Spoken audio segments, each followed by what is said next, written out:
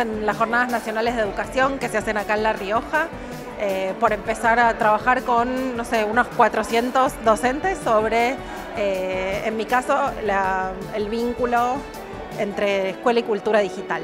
Así que ahí la idea es que vamos a conversar entre todos sobre cómo son los cambios en realidad en la vida cotidiana de todos nosotros y nosotras a partir de la integración de las nuevas tecnologías, los celulares, internet en nuestra vida, el impacto que eso tuvo en la escuela, pero sobre todo lo que viene haciendo la escuela con esa integración. Muchas políticas públicas en los últimos años en todo el mundo y también, por supuesto, en Latinoamérica se preocuparon por, integrar a las tecnologías y ahora la propuesta es mirar lo que vino haciendo la escuela como institución, como espacio que habitamos todos los días, eh, distintos actores, eh, como un espacio de cruce, de ver qué pasó con esas tecnologías. Vamos a discutir más específicamente sobre formación docente, eh, con colegas de la Fundación Sadowski que hablan de programación, si la escuela tiene o no tiene que enseñar a programar y a partir de ahí algunas experiencias sobre sobre mm, el lugar de la escuela en este mundo digital, informático,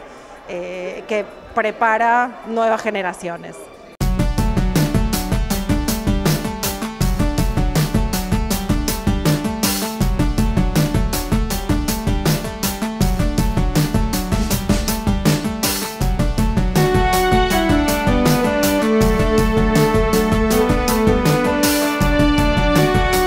Absolutamente en todo el mundo la, entre comillas, venta de la integración de la tecnología en las escuelas tuvo que ver con ideas que anunciaban cambios radicales, la inversión del aula, o sea, se, hablaron muchos eslogans sobre cómo iba a ser la escuela ahora que se integraban las computadoras.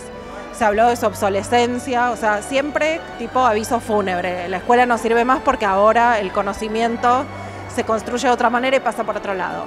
Bueno, por suerte confirmamos que de ninguna manera, más, es necesario más escuela que nunca, eh, aun cuando tal vez la distribución de saberes sea diferente, por ahí que un nene o una nena o un joven estén súper familiarizados con una tecnología porque nacieron en esa era tecnológica y se criaron con celulares, con la tele, con videojuegos, tal vez como una experiencia distinta generacionalmente.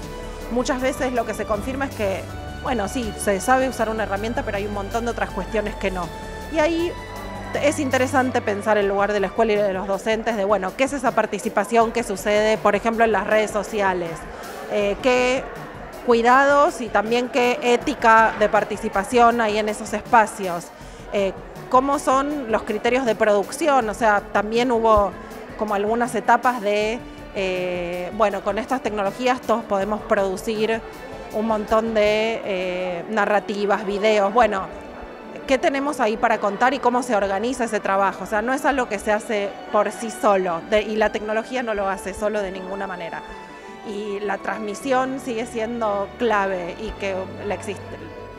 Digamos, que un docente o una docente te pueda decir, hagámoslo de esta manera, juntos, sigue siendo una función central de la escuela, por suerte. Eh, y sigue siendo lo que produce resultados virtuosos.